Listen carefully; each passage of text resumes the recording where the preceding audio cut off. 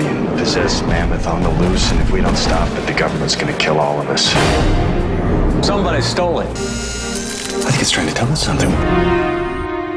Whatever's inside that mammoth, it needs to be researched. Now that we know the entity is alien, it initiates a different protocol.